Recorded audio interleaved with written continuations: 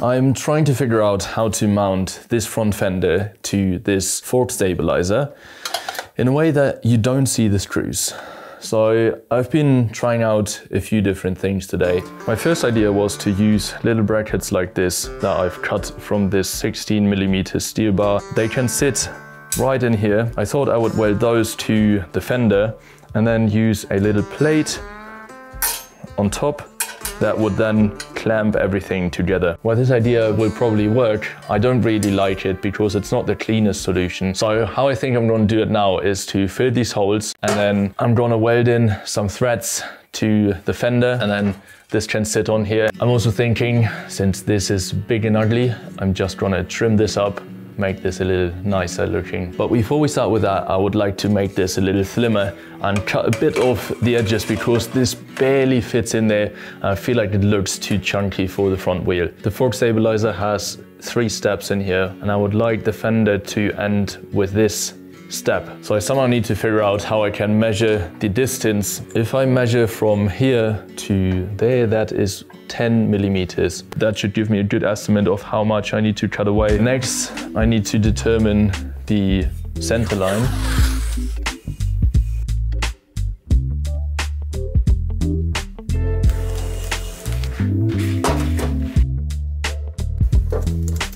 I'm just going to transfer that to the inside depending on from where I look, I might need that. These two center lines will help me when I align the two pieces so that I always get the right fitment. And now I'm just going to measure 12 millimeters from the side and that's going to be what we cut away.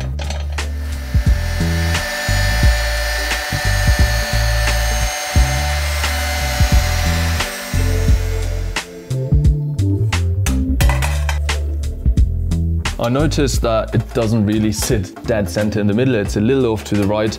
So I'm just quickly checking. Left side is two millimeters shorter than the right side. All right, I've made two little marks that show me how much I still have to take away. So I'm just gonna follow those through and then cut that away.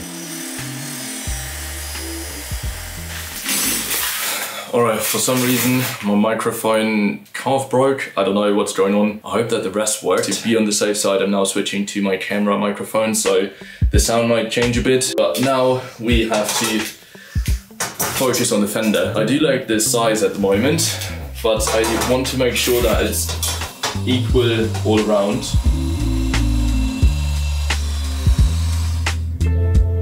Right, there's what I'm going for.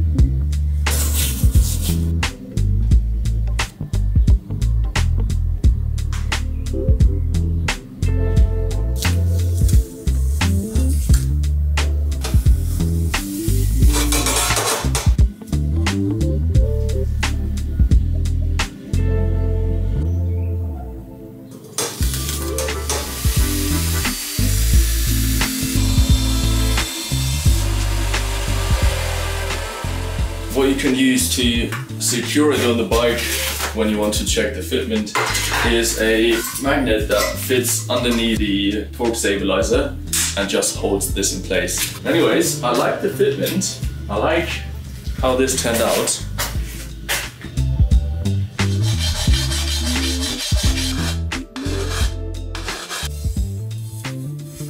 What I'm going to do next is to shorten that ugly thing. But I have a question. I don't really know what type of material this is. Why I'm not sure what material this is, is that I have a magnet and to the side it doesn't really stick at all where it's still shiny, but to the top where it's not shiny anymore, it actually sticks, but just very lightly.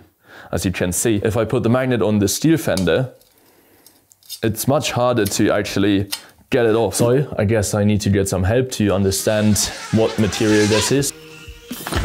So I went to Andy's place, asked him, and he was like, yeah, this is probably stainless steel. It's not magnetic, but it's relatively heavy. If this was galvanized steel, it would be magnetic. And if it was aluminum, it would be much lighter. And you would see it from the surface structure. It has all of these structures at the top and on the sides. So I want to find a line that actually makes sense and flows well. Right here, there's a tiny change of direction. So I'm gonna start here go up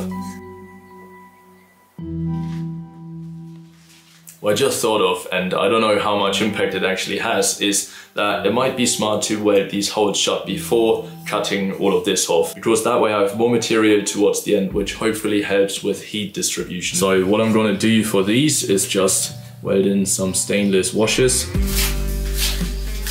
I've quickly bought some threaded rods that we can now use to prevent the fork stabilizer from warping.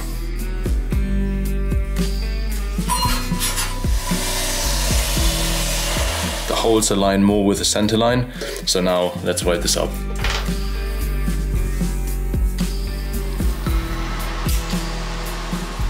This is a very good example of how the heat affects the piece. I've put a tack on this side and the heat on that side makes the plate lift up. So that's what I mean when pieces warp during welding, which is why we always want to have a tack on this side and at least on the opposite side. I'm now gonna put two tags on the bottom side. Right, so the welds look okay, I would say.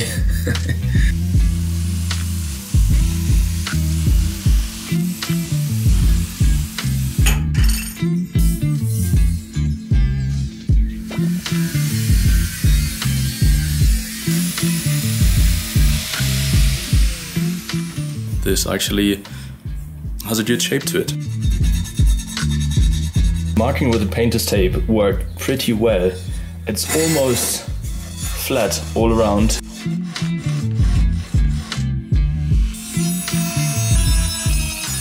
All right, this is done.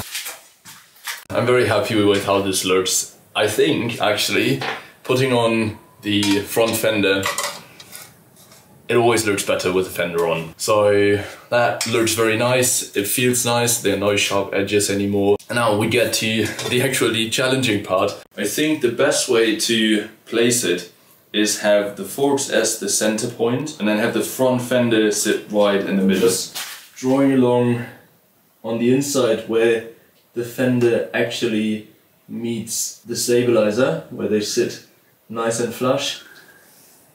Yeah, this workbench was one of the best things I've built. It's so handy to not have to crawl around on the floor.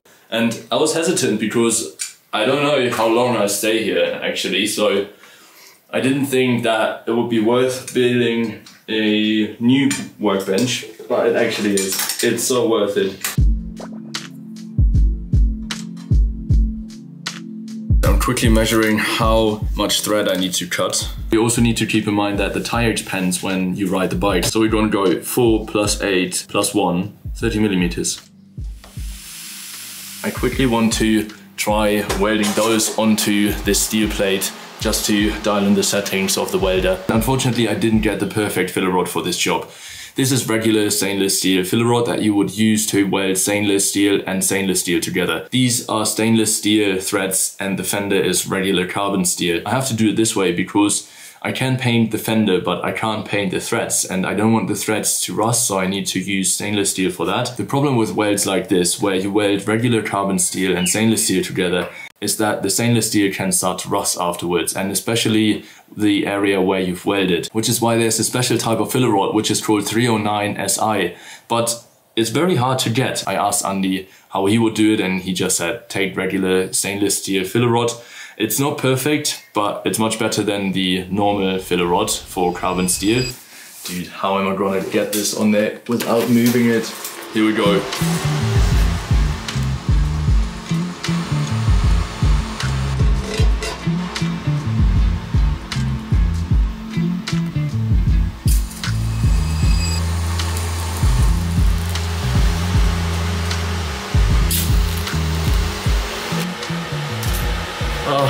Nice. that worked so much better than I thought it would work. The fitment is perfect. Well, let's check first. This is so amazing. This is what it looks like. I've tacked it all around. Let's see if we can tighten this properly without ripping the screw out. That should be good.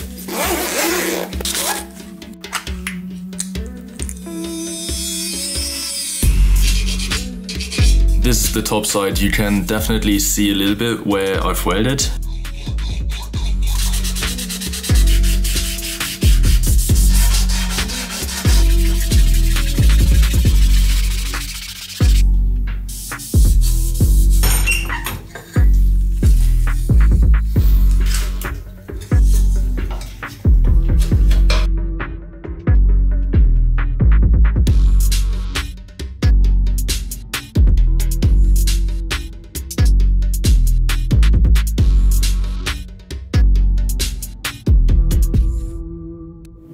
Front fender is installed, which actually looks very, very good. I'm so happy with how this went. For once, nothing went wrong. I hope you enjoyed the process. I hope you maybe learned something and I see you in the next one.